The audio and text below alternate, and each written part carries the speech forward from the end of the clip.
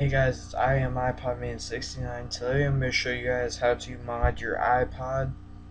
Um, this does not work for any of the, er, it works for the first and second generation Nano.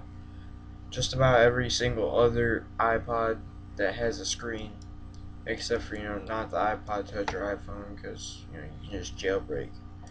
And you can check my channel out for stuff on that, but anyways, it, if your iPod looks like this.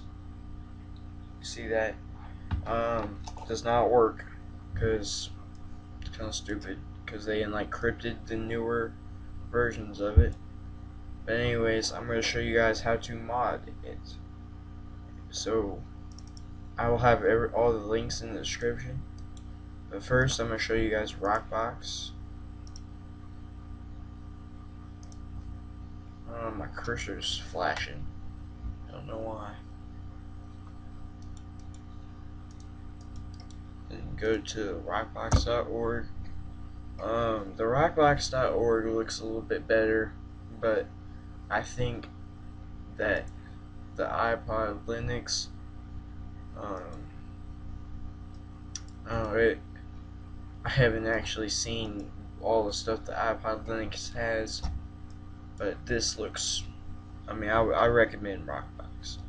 But anyways, what you want to do is there's the manual installation. You can click on current build, find yours, and then download it and put it into your thing. Or you can just get the automatic downloader for one of your systems. Mine's Windows. You click on that, and you'll get a folder like this.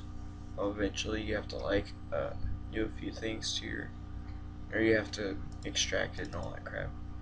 anyways, you open it up, click yes, and it will have some stuff right here on, like it'll come up with this. You click your iPod. They have Nano. They have Mini. Both minis. Um, the video color iPod all the way up to fourth generation. And then you click, also you have to have your iPod into disk mode.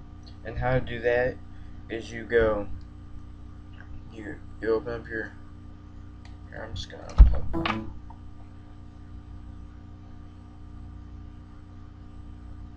Well, you either you either go into iTunes and click enable disk mode or what you do is you go to your iPod, hold that button in the center button until it'll go to that screen.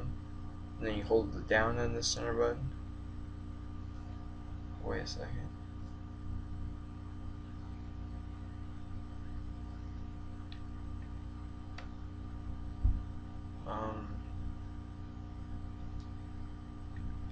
Let me try it again must not be working.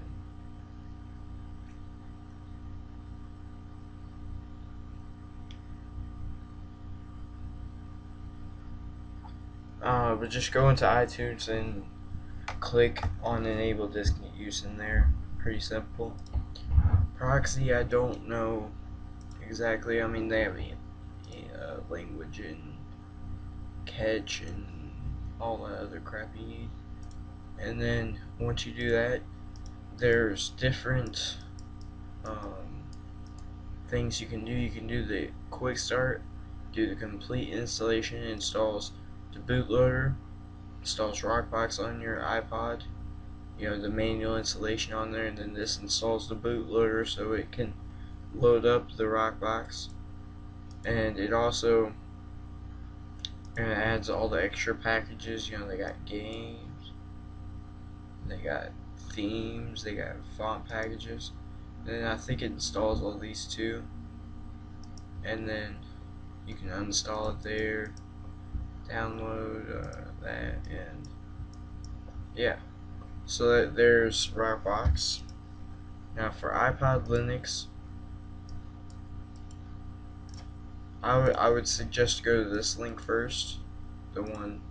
Ah, why did I click that? Alright, so, anyways, you click on. Then click paste. Enter.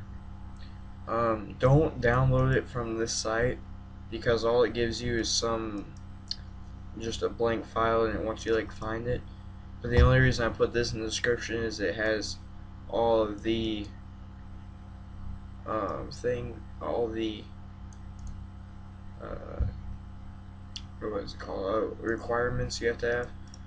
This doesn't even work for any video or fifth generation video iPods or Nanos. Um, but yeah. So what you do is I have a MediaFire link. Just download that folder and extract it. You get this folder right here. Click on installer extension extension. Click next. If you have your iPod plugged in, disk mode and everything, it will work and then from there you just keep going. So that's how you do this. Um, like I said, it has to have be on disk mode. And I think these are really cool mods. I hope that someday that they make one for the Nano third generation higher.